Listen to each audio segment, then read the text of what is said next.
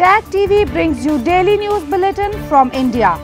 Breaking news and views from India.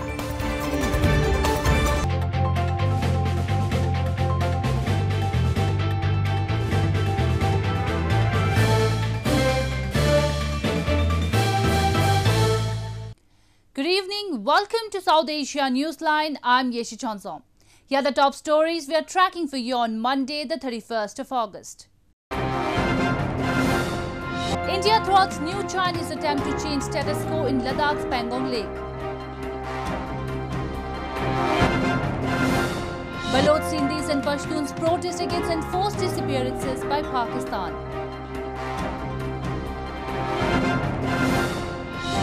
And people in southern India celebrate Harvest Festival amid coronavirus pandemic. And now for all the details. Preparations were underway at examination centres across India on Monday to ensure COVID-19 protocols a day ahead of an entrance test for admission to top engineering colleges in the country. The government has declined to defer engineering and medical entrance exams to be held in September despite protest and concerns for fear of rising COVID-19 infections.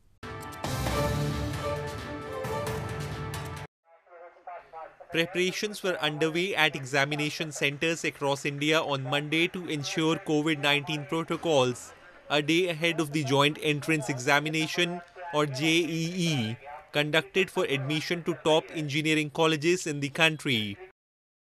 More than 2.4 million students are set to take entrance tests this month for admission to engineering and medical schools, which the government has declined to defer despite concerns for fear of rising COVID 19 infections as well as amid virus linked curbs on transport and lockdowns in some places.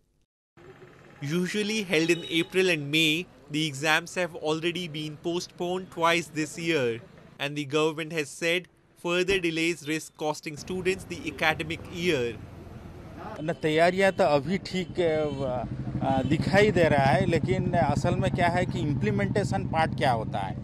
Actually काल क्या होगा? कैसे होगा? क्योंकि काल तो बहुत सारे भीड़ रहेगा।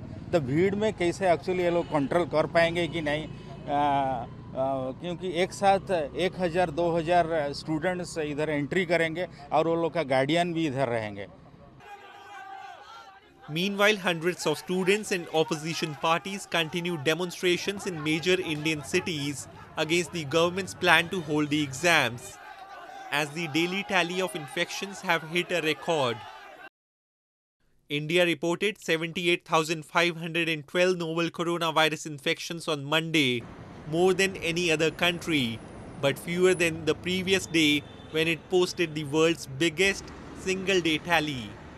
Hoping to avert serious economic damage, the government is relaxing restrictions and has announced that urban metro trains can also resume services from September 7.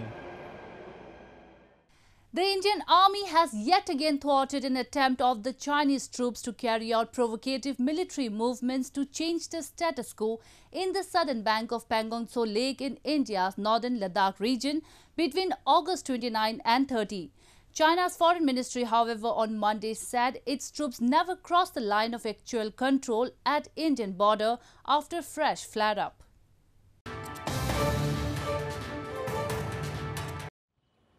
The Indian Army has thwarted an attempt by the Chinese Army to transgress into Indian areas near the southern bank of Pangong Tso Lake in northern Ladakh territory overnight between August 29 and 30 and talks are being held now to resolve the issue. The Indian Army in a statement said on the night of August 29-30, PLA troops violated the previous consensus arrived at during military and diplomatic engagements during the ongoing standoff in eastern Ladakh and carried out provocative military movements to change the status quo.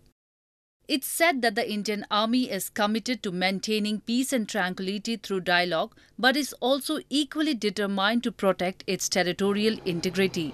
Some defense experts have hailed the preemptive action by the Indian Army. But the good uh, part of this uh, news is that uh, Indian army soldiers have resisted the Chinese in altering the status quo. It speaks of the confidence and preparation of our troops uh, in this complete eastern Ladakh region. Chinese Foreign Ministry spokesperson Zhao Lijian in a regular news briefing in Beijing on Monday, however, said that Chinese border troops never crossed the line of actual control.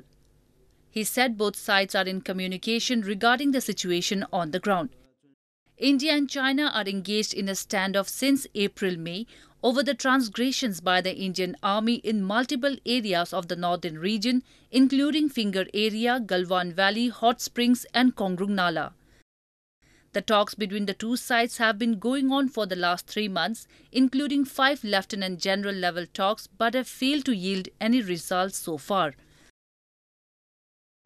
Moving on, activists and members of Baloch, Sindhi and Pashtun communities held demonstrations against Pakistan across the globe to mark the International Day of Victims of Forced Disappearances on Sunday.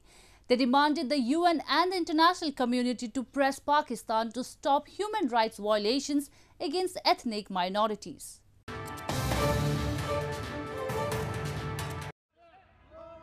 Baloch, Sindhi and Pashtuns staged protests on Sunday across the globe to mark the International Day of Victims of Forced Disappearances, demanding the UN and the international community to press Pakistan to end enforced disappearances and extrajudicial killings. The protesters in Canada's Toronto City highlighted the rising cases of human rights violations by Pakistani security forces in Sindh, Balochistan and federally administered tribal areas. They blamed China is equally responsible for killings and internal displacement of innocent civilians who raised their voice against the China-Pakistan Economic Corridor project in Balochistan and other areas. जबरी तौर पर लापता होना कोई नई चीज़ नहीं है और कोई मामूली सा एक लफ्ज़ नहीं है ये हमारी ज़िंदगियों को मुतासर कर चुकी है हमारे नस्लों को मुतासर कर चुकी है और हमारे आने वाले नस्लों को भी इसी तरह मुतासर करती रहेगी जब तक कि ये टेररिस्ट स्टेट पाकिस्तान एग्जिस्ट करती है दुनिया के नक्शे पर Sindhi and Baloch activists also staged a demonstration outside the 10 Downing Street and the Parliament of United Kingdom in London to highlight the situation. Activists accuse that Pakistan army has been carrying so-called military operations in Sindh and Balochistan for years with the aim to eliminate the indigenous people and ethnic minorities. Thousands have been internally displaced because of armed conflicts and army operations over the years. In news from Afghanistan, Afghan President Ashraf Ghani on Sunday said that peace does not mean a power-sharing political deal, but instead the fulfillment of the will of the Afghan people, which is to end the violence and bloodshed in the war-torn country. He made the remarks in a ceremony on Sunday in Kabul to commemorate Ashura or the 10th day of Muharram, which is observed in memory of martyrdom of Prophet Muhammad's grandson Imam Hussein. His comments came after Abdullah Abdullah, chairman of the Afghan High Council for National Reconciliation, said that the much awaited intra-Afghan talks between the Kabul government and the Taliban will begin next week. Ghani had earlier on Saturday revealed the names of the appointed members and leaders of the country's High Council for National Reconciliation, a body tasked with the leading peace negotiations with the Taliban. The new member list has been met with mixed reactions by major political parties and politicians. Moving on to news from Nepal. Nepal continues to struggle with increasing COVID-19 cases and lowered recovery rate. On Sunday alone, Nepal recorded a single-day rise of 1,221 cases with 14 more fatalities, taking toll of infected to more than 38,560, while recoveries stand at 20,822. Recovery rate of COVID-19 infected patients in Nepal stood at around 56% in an early fortnight of August, while towards the end of the month, it has dipped down to 54, increasing worries and panic for the government. On Sunday alone, Nepal reported a single day rise of 1,221 cases with 14 more fatalities, taking the toll of infected to 38,561, while the number of recovered ones stand at 20,822. The country's capital Kathmandu on Sunday only recorded 372 new coronavirus cases, while adjoining districts Bhaktapur and Lalitpur recorded 45 and 12 cases simultaneously. आजभोलि दिन प्रतिदिन corona सङ्क्रमितको सङ्ख्या बढिरहेको छ र हामी सीमित स्रोत र साधन लिएर Meanwhile, with the rise in COVID 19 cases, doctors along with other medical workers are also getting the virus while treating the patients whose coronavirus test was not done before being admitted or brought to hospitals. As the health professionals are decreasing with increased rate of infection among them, it is also leading to scarcity of doctors on duty. In the month of January, Nepal was the first nation in South Asia to confirm the infection in a China returning Nepali citizen. Moving on to news from Sri Lanka. A vendors market kicked open recently in Sri Lankan capital Colombo focusing on sustainable and community driven businesses. Due to the COVID-19 pandemic, several businesses were hit and this initiative is now providing them opportunity to communicate directly with the customers and promote micro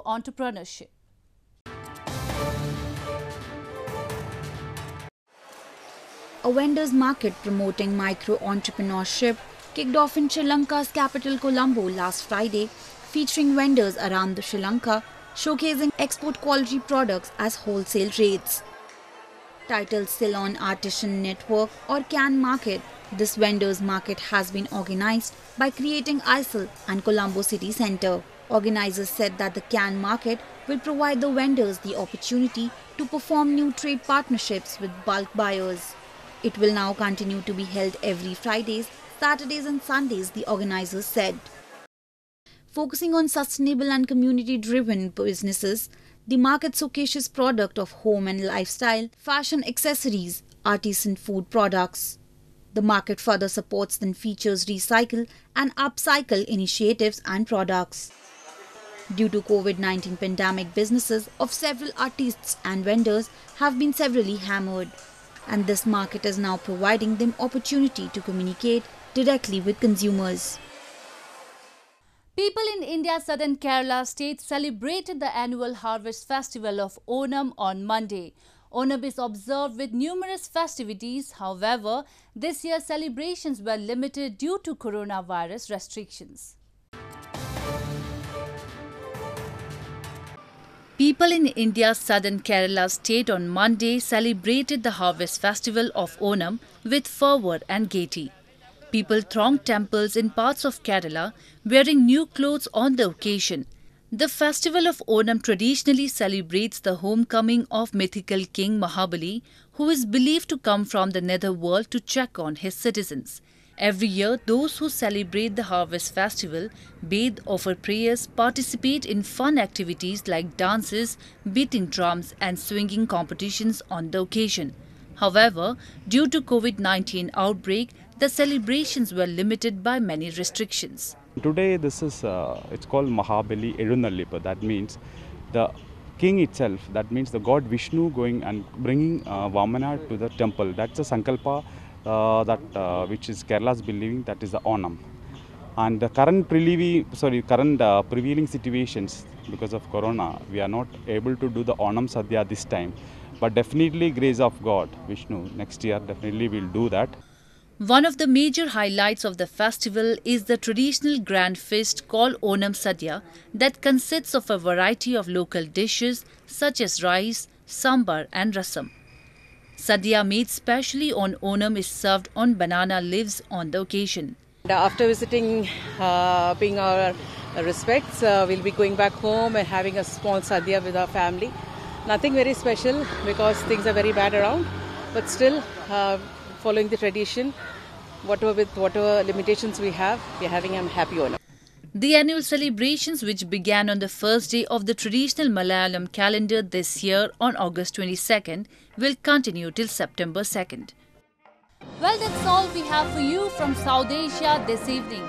Now, our viewers can watch the show on SouthAsiaNewsline.com You can also visit us on facebook.com slash Asia Newsline and follow us on Twitter at Asia Newsline. That's all in tonight's edition. We'll see you same time tomorrow. Good night. Subscribe Tag TV YouTube channel and press the notification button. Subscribe Tag TV YouTube channel and press the notification button.